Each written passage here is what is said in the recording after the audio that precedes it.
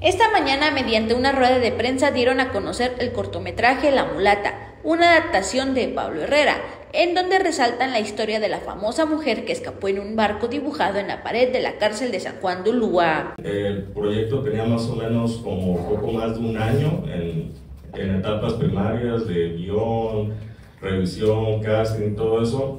Afortunadamente ya hace unos meses, en octubre, se dio la oportunidad de que todo se conjugara para poder este, pasar ya a etapa de rodaje, este, preproducción, postproducción. Y pues bueno, tenemos las fechas tentativas entre 9 y 16 de, de febrero, ¿no?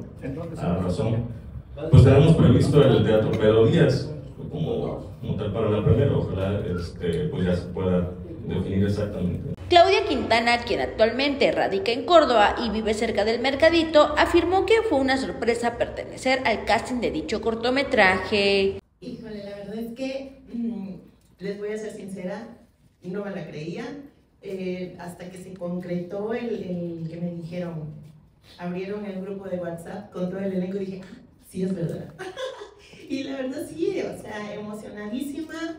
Eh, personalmente mi mamá es fanática de esa leyenda. Cuando se enteró, bueno, estaba orgullosa y feliz de que su hija fuera a interpretar ese personaje.